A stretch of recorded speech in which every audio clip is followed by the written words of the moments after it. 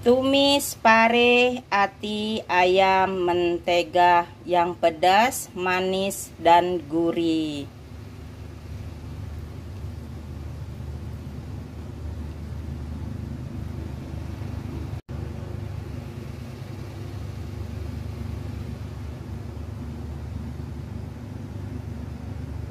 Assalamualaikum. Welcome back to my channel. Jumpa lagi dengan saya Desi Ayu di resep Masakan Hongkong sehari-hari.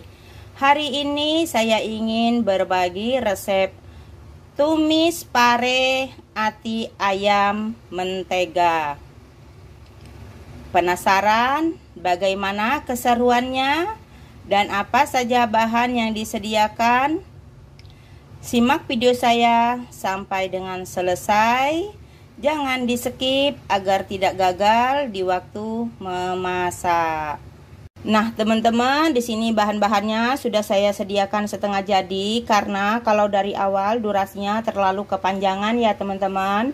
Seperti yang kalian lihat, di sini saya mempunyai satu buah pare yang sudah saya iris tipis seperti ini, teman-teman. Sudah saya cuci bersih dan sudah saya iris tipis. Ngiris parenya disesuaikan dengan selera kalian, besar kecilnya, tebal atau tipisnya ya teman-teman. 200 gram ati ayam yang sudah saya potong-potong dan sudah saya cuci bersih. Bumbu tumisnya di sini saya mempunyai 10 buah cabai merah keriting, 4 siung bawang putih, 2 siung bawang merah yang sudah saya iris tipis, ada 3 iris jahe yang sudah saya iris tipis, 1 sendok teh gula pasir, setengah sendok teh kaldu bubuk, seperempat sendok teh garam, merica bubuk, kecap asin, dan minyak wijen. Lalu ini ati ayamnya kita kasih minyak wijen 1 sendok teh. 1 sendok teh merica bubuk. 1 sendok makan kecap asin. Setelah itu kita aduk rata. Kita diamkan selama dengan 10 menit agar lebih meresap ya teman-teman. Kompor panaskan wajan Lalu di sini saya masukkan satu sendok makan margarin. Kita tunggu sampai dengan mencair ya teman-teman.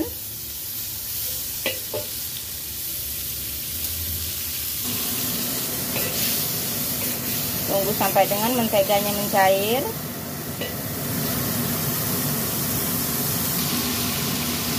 Lalu kita masukkan bawang merah, bawang putih, dan jahe. Kita tumis bersama dengan mentega atau margarin.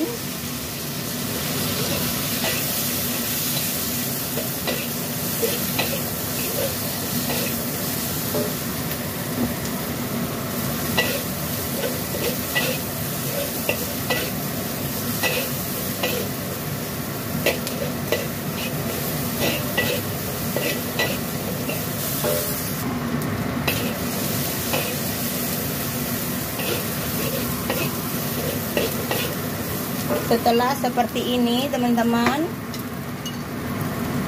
lalu kita masukkan pare.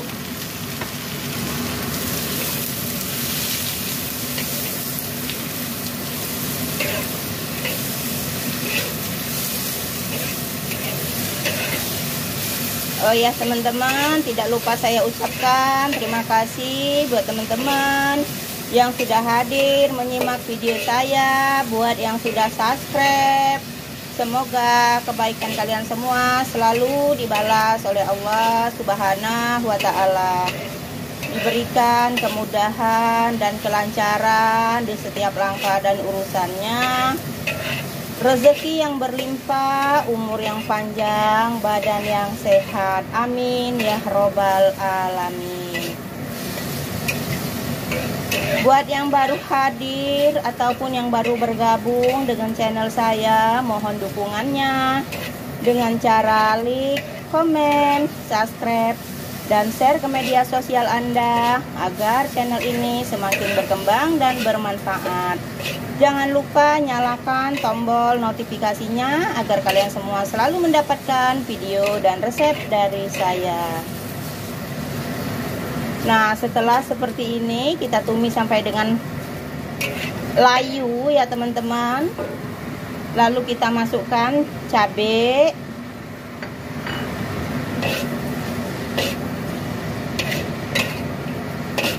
jadi ditumis sampai dengan layu dulu baru dimasukkan cabenya ya teman-teman. Setelah itu kita masukkan garam kaldu bubuk. Gula pasir.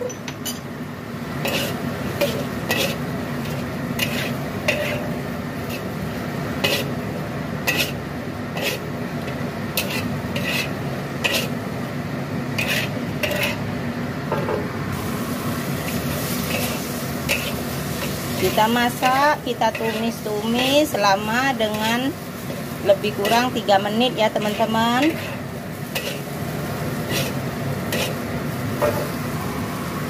Nah setelah seperti ini teman-teman lalu kita matikan kompor dulu. Parinya kita angkat kita masukkan ke wadah terlebih dahulu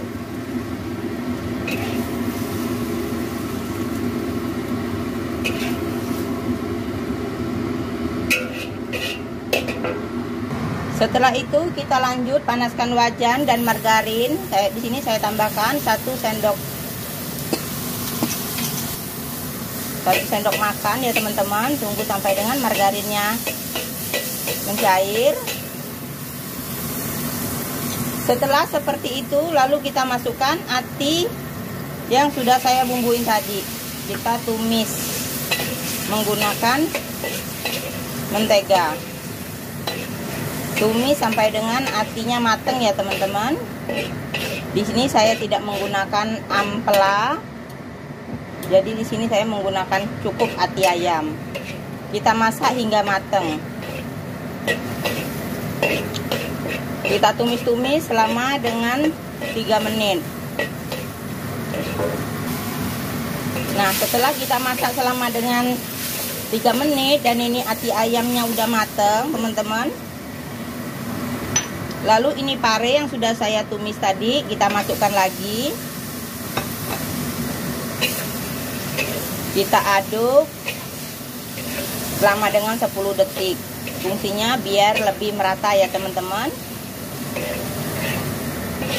Setelah itu koreksi rasa. Sekira rasanya sudah cukup lalu kita matikan kompor kita angkat masukkan ke wadah dan siap untuk disajikan